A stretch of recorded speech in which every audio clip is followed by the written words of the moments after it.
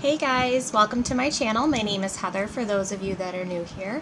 Um, if you happen to see my last video where I did a pretty big Ulta and Sephora haul, you guys know that I was waiting for this box to come and it actually came probably about 20 minutes after I finished uh, filming my haul video. So Yep, same clothes, same outfit, same day. Um, I am just doing this uh, unboxing of this Too Faced mystery bag.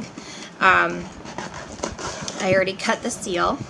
I love Too Faced boxes because not only are they pink, um, but what you get in it, it's also pink. So um, let me see what is in here. I have no idea what's in this. Um, and I've never ordered one of these before. I know that they had them up, I think, last year, but I didn't get to it in time. They had sold out. So we will see what is in this bag. Comes like this. Difficult zipper. All right, let's see. This is a La Creme Color Drenched Lipstick in Double Bubble. I have a lot of the La Cremes. I do not have the shade. Super, super, super pink. I love the way they smell too. They smell almost like a, kind of like a light lemony kind of smell, at least to me. Um, what is next in here? So these all promise to have a value of $109 and when you order it, it costs $39. Um, they sent me a deluxe sample of the Better Than Sex mascara. And I have about a million of those, um, but I'll still use it. So what is this? Perfect Eyes Waterproof Eyeliner in Perfect Black. I have not tried this. Has a smudger on the other end.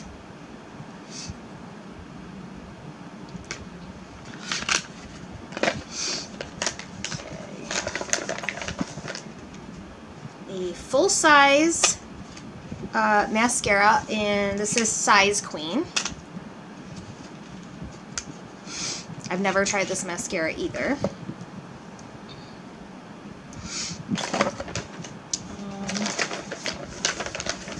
and I guess the last thing in here is the peanut butter and jelly palette, which I do have, so this is actually good. I can just stick this one in a giveaway for you guys um, if you don't have it just gonna, nah, maybe I shouldn't open it. I don't want it to look all damaged. Um, I'm not gonna touch anything, but you guys can see the colors in there.